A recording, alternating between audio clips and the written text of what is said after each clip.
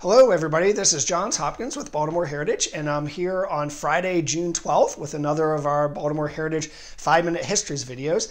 And I am really pleased that today we're going to focus on one of our 20, uh, 2020 Preservation Award winners, and that's the restoration of Maryland Hall in the Johns Hopkins Homewood campus. And we're going to get to that, but let's first start out and talk about how we got a Maryland Hall, and in fact, how we even got a Homewood campus for Hopkins University.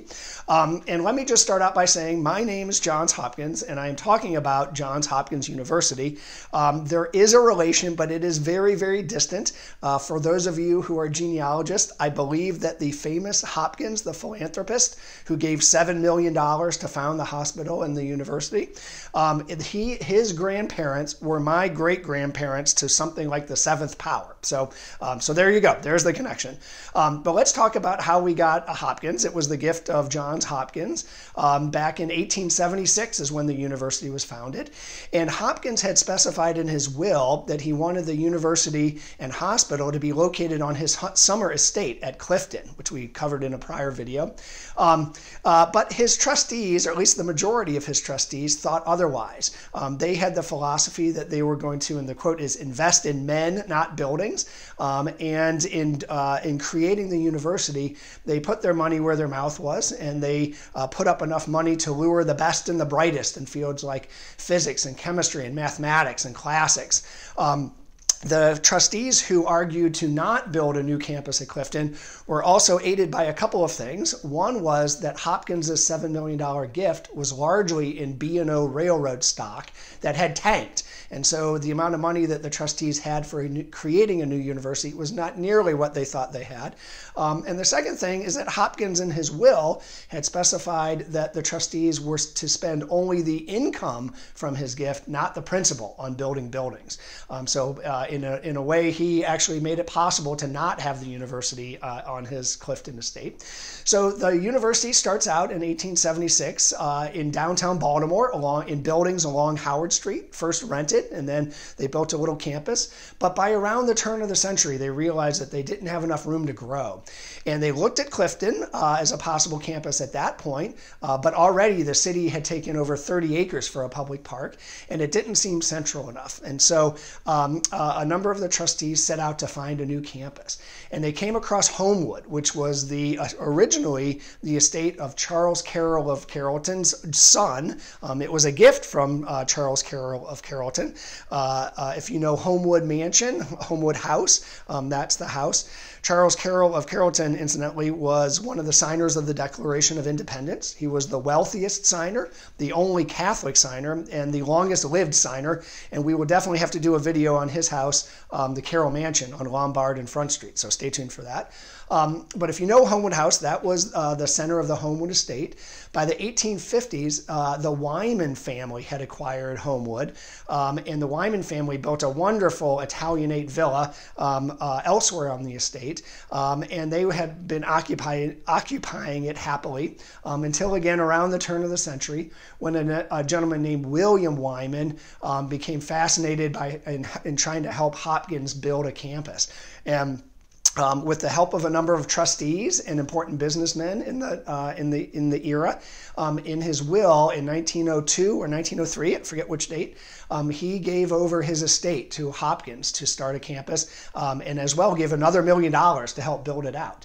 So now we get to uh, Maryland Hall. Maryland Hall was completed uh, in 1914, we believe, and there's a little bit of a debate on uh, which came first, Maryland Hall or uh, Gilman Hall, named after Daniel Coit Gilman, the uh, first president of Hopkins.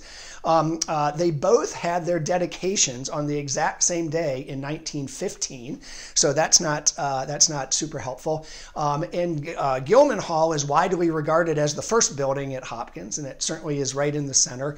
Uh, but there's a little bit of evidence that, in fact, uh, Maryland Hall, which was first called um, uh, the Mechanical and Electrical Engineering Building, uh, uh, was actually had students occupying first. So it might have been the first uh, building in use at any rate. At any rate, um, and regardless, it is certainly the, the its towering spire is certainly the center and the dominant of uh, point on the campus.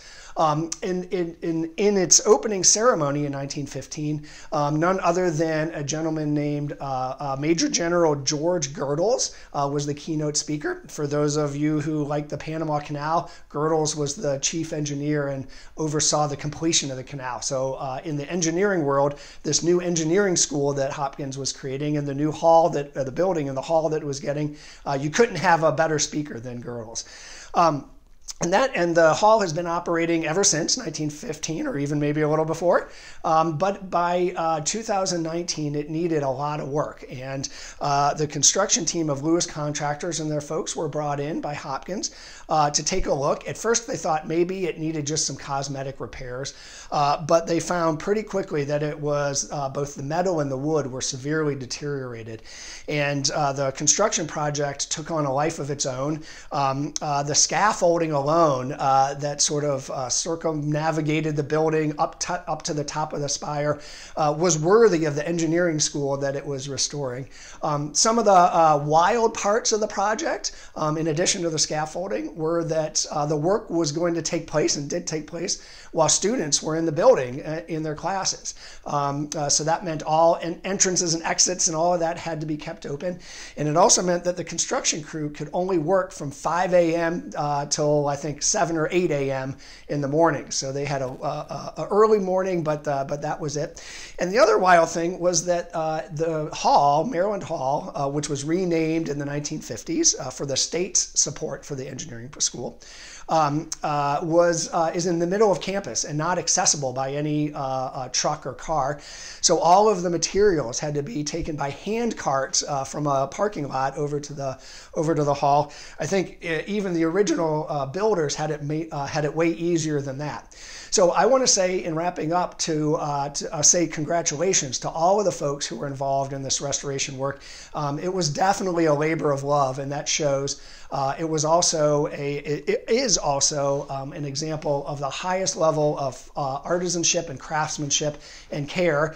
And I think we can safely say that we look forward to another hundred years of Maryland Hall and its wonderful spire dominating the Hopkins campus. Thanks so much and have a good weekend.